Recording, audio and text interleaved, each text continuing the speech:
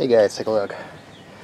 So I just saw this at uh, Home Depot and uh, thought I'd give it a, a shot. I'm actually a cabling contractor and an IT guy. And, um, I don't normally use these type of ladders, these these fold-up ladders, but I was actually on a job uh, yesterday, and somebody actually had one of those like little giant ladders, and it was actually pretty awesome. It wasn't wasn't that bad.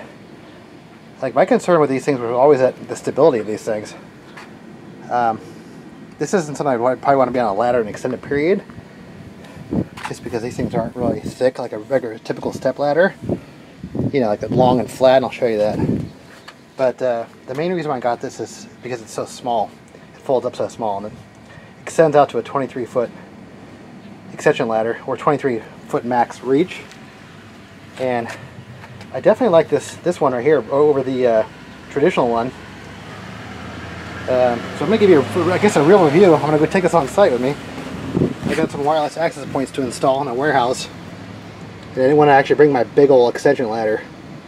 Um, but this thing is definitely small, so that's cool. Like you navigate hallways. That's that's an issue, an issue I always have is that my extension ladders and my, and my big, huge step ladders are just so hard to like navigate down hallways and stuff. Because I work in office buildings. All right, so that's a 10 foot extension ladder right there. So I'm closing my garage door. And that thing is a nightmare to get through like doorways. Especially in a hallway where you can't really navigate. And I also use my uh, 24 foot extension ladder over here. And that's even more of a headache, but but look at see what I was saying earlier is that for if I was gonna be doing a long job, you know, for like you know extended period, then I'd definitely bring a lot bigger one because the uh, see the flat, how flat those are right there. It's a lot more comfortable sitting those for an extended period of time. So yeah, so another th nice thing about this thing too is that it uh, fits in the back of my truck, and I don't have to actually pull out any straps. I can just throw it in the back of the truck, and that's it. So pretty versatile, you know like I said, I wouldn't want to do this for an extended period of time just because the, the, the legs are, not the legs, but the, uh, whatever that's are called, but they're just too small and they make your feet hurt after a while. But the cool thing about this, this more expensive one, this was about two, 239 over at Home Depot.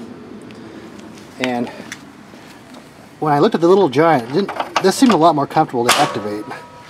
And then it also had like a traditional step ladder top, like the yellow thing we could store like your drill or screws or whatever.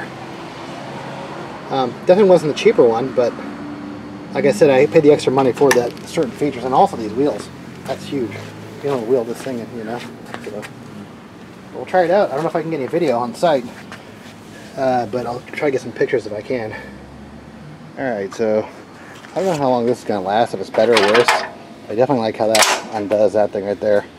I couldn't take this on the uh, job yesterday, so well, there was already a ladder on site, so I'd much rather use a regular step ladder especially when I'm up 12 feet, you know, so I'm gonna bring this up and look at this. It just, uh, so absolute max height of this ladder would be 10 feet if you're standing at the very, very top. I know they don't say you to do that, but do that all the time actually. as long as you actually have support on the top, like a roof or a ceiling, then uh, do it all the time, so.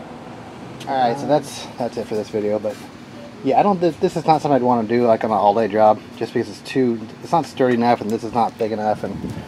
Um, but for like a quick troubleshooting job, you know, it's a lot easier just to grab this thing and take that big extension ladder down, or the big step ladder down, and just navigating hallways would be huge. You know, so hard to navigate hallways with those big long ladders. All right.